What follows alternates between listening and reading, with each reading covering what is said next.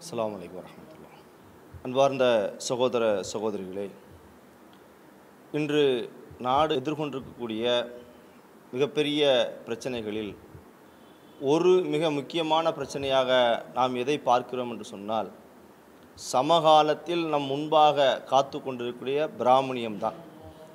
பிராமணியம் என்று சொன்னால் அவர்கள் உயர்ந்தவர்கள் அவர்கள் தலையிலிருந்து படைக்கப்பட்டவர்கள் மற்றவர்களெல்லாம் தாழ்ந்தவர்கள் இல்லாமையிலிருந்து படைக்கப்பட்டவர்கள் என்ற சித்தாந்தத்தை மக்கள் மத்தியிலே எடுத்து சொல்லி ஒரு குறிப்பிட்ட சமூகத்தினர் இந்தியாவிலே எல்லா மனிதர்களை விட நாங்கள் தான் உயர்ந்தவர்கள் நாங்கள் தான் தூய்மையானவர்கள் அப்படின்னு சொல்லக்கூடிய ஒரு மனப்போக்கை சமீப காலமாக தொடர்ச்சியாக பார்த்து வர்றோம்.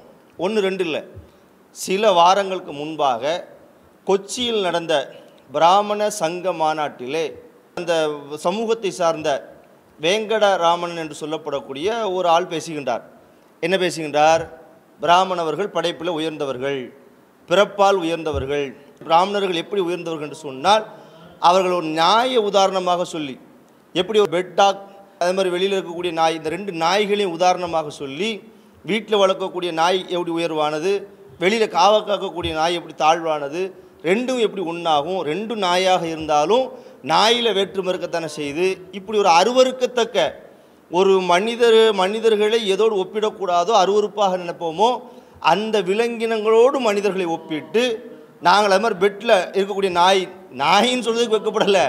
ஆனால் உயர்வுன்னு அந்த இடத்துல காட்டக்கூடிய அந்த சூழ்நிலையில் அந்த வீடியோ பதிவெல்லாம் முகநூல் வழியாக தமிழகம் எங்கும் இந்தியாவெங்கும் பரவியது.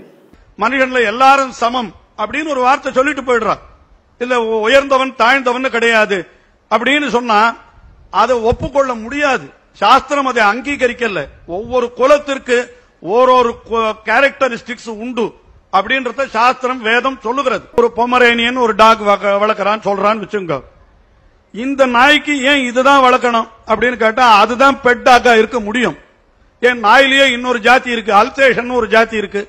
அதை ஏன் வீட்டில் வளர்க்க கூடாது அப்படின்னு கேட்டா அது it is not a pet டாக்னு சொல்றார்.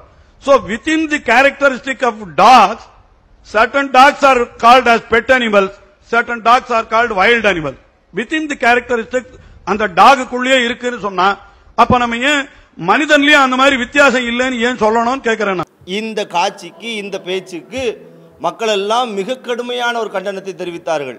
நீ எப்படிப்பா பிறப்பில் உயிர்வுன்னு சொல்ல முடியும்? அது மற்ற மக்களெல்லாம் நாயோடு எப்படி ஒப்பிட முடியும் என்ற மிகப்பெரிய கண்டனங்களையும் மிகப்பெரிய எதிர்ப்புகளையும் மக்கள் எல்லாம் சொன்ன ஒரு காட்சியை பார்த்தோம். அது ஒரு நிகழ்வாக அந்த நிகழ்வை தொடர்ந்து தற்போது இரண்டு நாளைக்கு முன்பாக ராஜஸ்தான் மாநிலத்தில் அதுபோல் ஒரு அகில சபா பிராமண சங்க ஒரு மாநாடு நடக்கு. ராஜஸ்தானில் கொச்சியில் நடந்த மாதிரி அகில சங்க பிராமண சபா மாநாடு ஒன்று நடக்கிறது. இந்த மாநாட்டிலே நம்முடைய பாராளுமன்றத்தினுடைய சபாநாயகராக இருக்கக்கூடிய சாதாரண ஆள் கிடையாது. அரசு சாராத ஆள் கிடையாது. பாராளுமன்றம் என்பது சட்டங்களை இயற்றக்கூடியது மனிதர்களுக்கு நீதி வழங்கக்கூடியது. அப்படித்தானே? அந்த பாராளுமன்றத்துடன் சபாநாயகராக இருக்கின்றார் ஓம் பிர்லா என்று சொல்லப்படக்கூடிய ஒரு நபர் பாரதிய ஜனதா கட்சியை சார்ந்தவர். இவர் என்ன செய்கின்றார்? அந்த இடத்துல பேசுகின்றார். அந்த இடத்துல என்ன பேசுகிறார்? அதான் முக்கியம். சாதாரண வேங்கடரமணன் எந்த பொறுப்புலையும் இல்லை. அரசு அதிகாரியும் கிடையாது அவர் எந்த சபாநாயகர் மந்திரியாகவும் இல்லை அவர் பேசியதே மிகப்பெரிய அளவுக்கு கண்டனங்களையும் எதிர்ப்புகளையும் தேடிக்கொண்ட நிலையிலே இந்த சபாநாயகர் வேண்டுமென்று அந்த மாநாட்டினுடைய உரையாக பேசுகின்றார் என்ன சொல்கின்றார் Starting the bulletin with the breaking news which is coming in, Lok Sabha Speaker Om Birla has come under fire for his tweet on Brahmins. Om Birla, after attending an event in Rajasthan, put out a tweet saying, I quote, Brahmins have always had a high status in the society. The status is result of their sacrifice and dedication. This is the reason Brahmins have always been the guiding light for the society. Unquote. This comment has sparked a huge controversy as opposition leaders have demanded an apology from the Lok Sabha Speaker.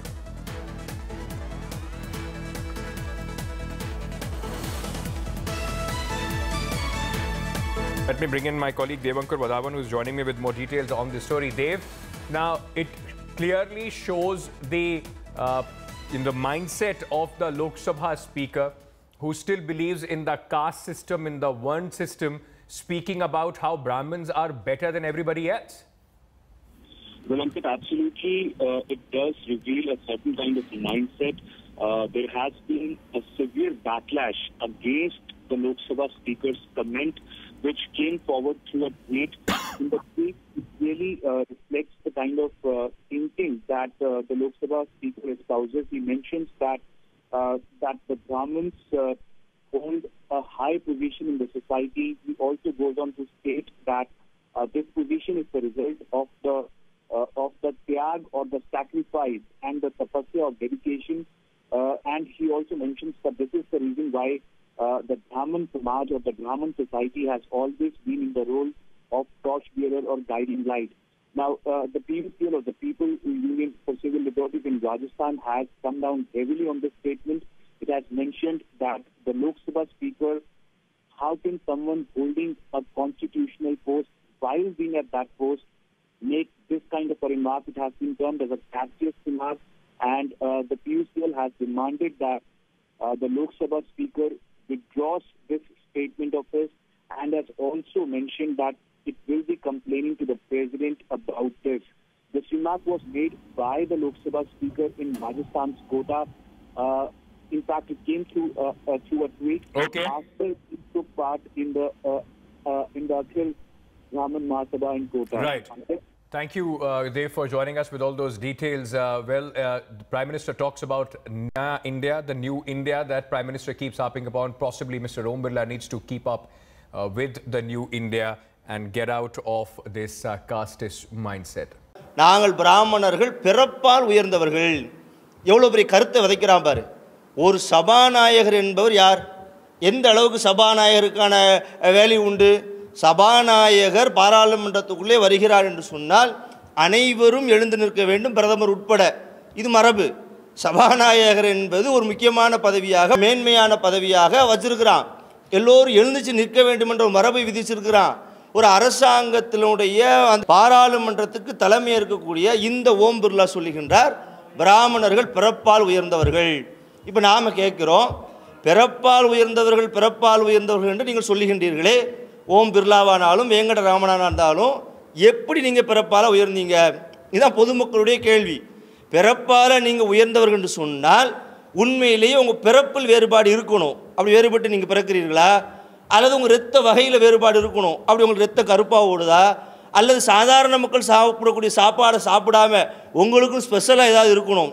அப்படி ஏதாவது நீங்கள் சாப்பிட்றீங்களா? அல்லது மனிதர்களெல்லாம் நாங்களெல்லாம் ரெண்டு காலில் நடக்கமா இல்லையா? நீங்கள் பிறப்பால் புனிதமானவர்கள். பிறப்பால் உயர்வானவர்கள் என்று சொன்னால் வேறு நாலு காலில் நடக்கீங்களா? எப்படிரா நீ பிறப்பால் உயர்ந்தவன்? பிறப்பால் உயர்ந்தவர் என்று சொன்னால் அதுக்கான காரண காரியத்தை சொல்லு. நாங்கள் பிறப்பால் தாழ்ந்தவர்கள் என்று சொன்னால் அதற்கான லிஸ்ட்டை நீ போடு.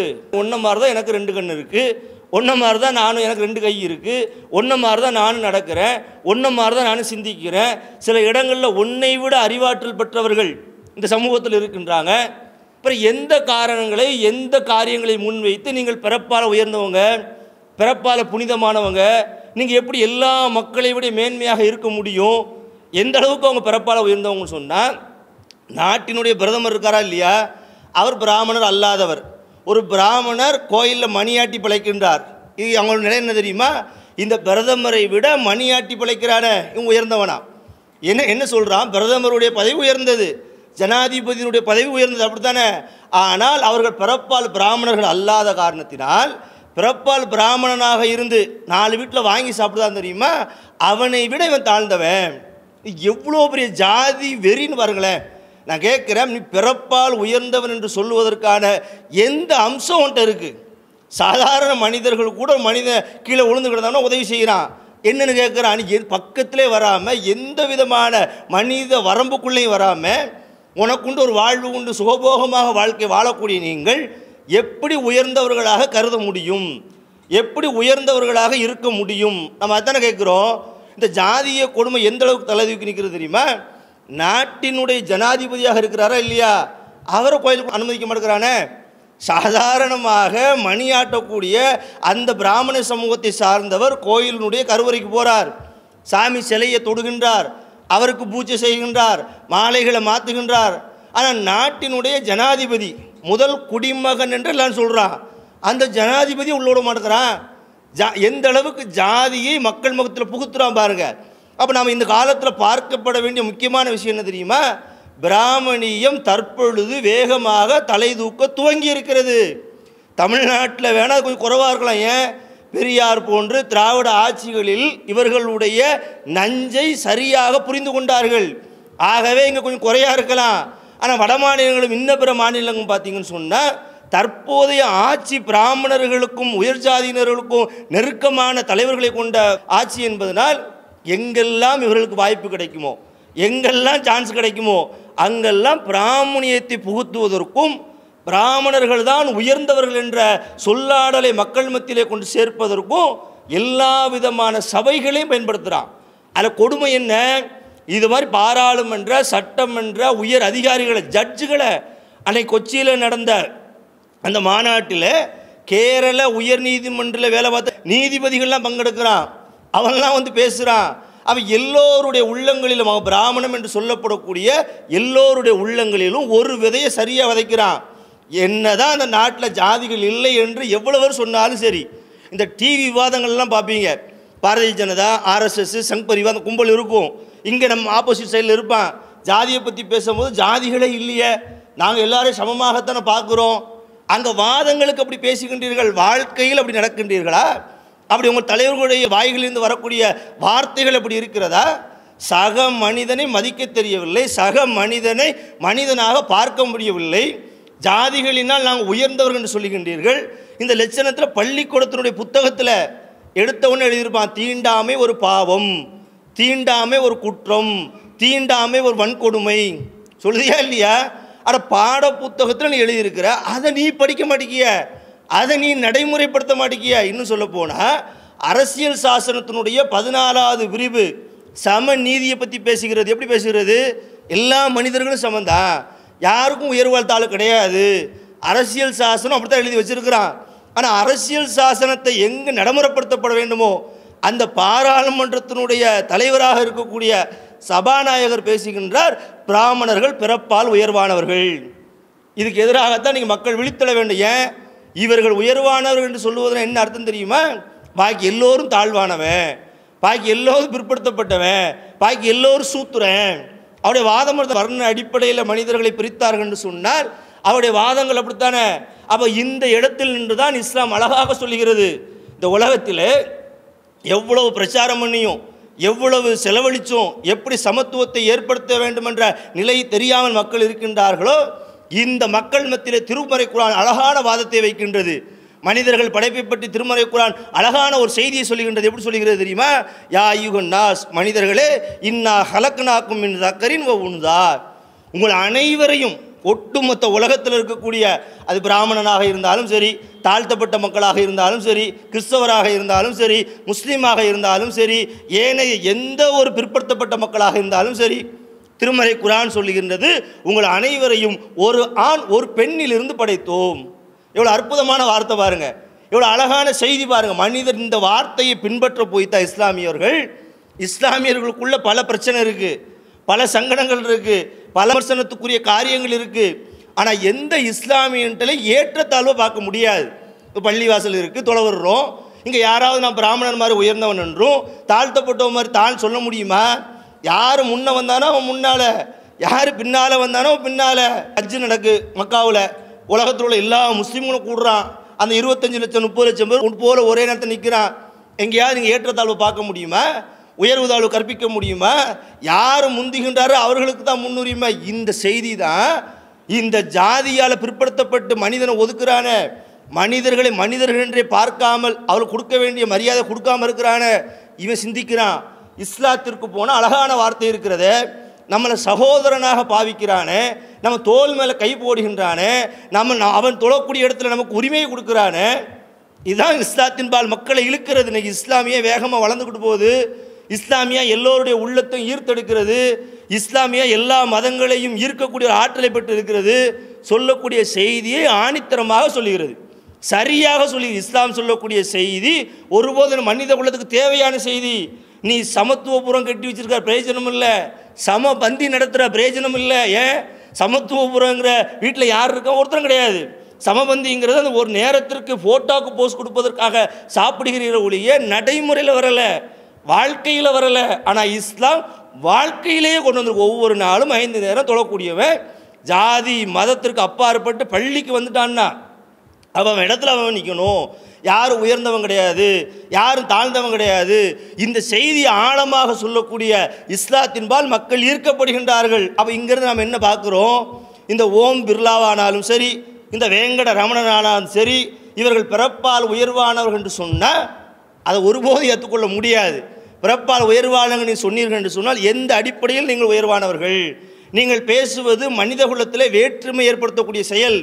தீண்டாமையை வளர்க்கக்கூடிய செயல் தீண்டாமைக்கு கொடி பிடிக்கக்கூடிய ஒரு செயல் தீண்டாமைக்கு ஆதரவாக பேசக்கூடிய இந்த சபாநாயகர் அதை சார்ந்த கட்சிக்காரர்கள் எப்படி நாட்டில் தீண்டாமைக்கு எதிராக நிற்பான்? இது தெரியாமல் இன்றைக்கி தமிழகத்தில் சில தலித் தலைவர்கள் கூட இதெல்லாம் தெரியும் அவங்களுக்கு காசுக்காக பணத்துக்காக பதவிக்காக இது போன்ற வேங்கட ரமணர்களுக்கும் ஓம் பிர்லாவுக்கும் சால்ரை அடிக்கிறார்களே. ஒத்து ஊதுகின்றார்களே அவரோடு ஒட்டி உறவாடி நிற்கின்றார்களே இப்போ தான் அவங்க சிந்திக்கணும். என்னதான் நீங்கள் அவர்கள் பின்னால் கைகுட்டி நின்னாலும் சரி உங்களுக்கு சரிசமமான இடம் கொடுக்க மாட்டான் உங்களை தோல் மேலே தோல் போட்டு வைக்க மாட்டான். ஏன்? அவனுடைய உள்ளத்தில் ஆழமாக இருக்கிறது நான் பிராமணன். நான் உயர்ந்தவன். நீ என்னத்தை தான் படிச்சிருந்தாலும் சரி என்னத்தை தான் பதவியில் இருந்தாலும் சரி நீ தாழ்ந்தவன். எனக்கு கீழே தான் நீ இதுதான் பிராமணியம்ங்கிறது அப்போ இந்த பிராமணியம் என்பது வீழ்த்தப்பட வேண்டியது. இந்த பிராமணிய கருத்து என்பது அழிக்கப்பட வேண்டியது. மனிதர்கள் அனைவரும் சமம் என்ற அடிப்படையில் அவர்கள் பார்க்கப்பட வேண்டும். அந்த சமத்துவத்தை எந்த விதமான சமரசமும் இன்றி கொடுக்கப்படக்கூடிய ஒரே இடமாக இஸ்லாம் மட்டும்தான் இருக்கிறது. இஸ்லாமிய மார்க்கம் மட்டும்தான் இருக்கிறது. அதற்கான செய்தியை திருக்குறான் மட்டும்தான் வழங்குகிறது. அந்த நடைமுறையை இஸ்லாமியர்கள் மட்டும்தான் பின்பற்றுகின்றார்கள். ஆகவே சமத்துவத்தை தேடக்கூடியவர்கள் சம நீதியை தேடக்கூடியவர்கள் மனிதர்களுக்கு மத்தியில் ஏற்றதாழ்வு இல்லை என்று கருதக்கூடியவர்கள் இஸ்லாத்தை தேர்ந்தெடுப்பார்கள் தேர்ந்தெடுக்க வேண்டும். அத்தகையவர்களை இஸ்லாம் அழைக்கிறது என்ற செய்தியை முத்தாய்ப்பாக கூறிக்கொண்டு என் உரை நிறைவு செய்கின்றேன். வாக்குறோம்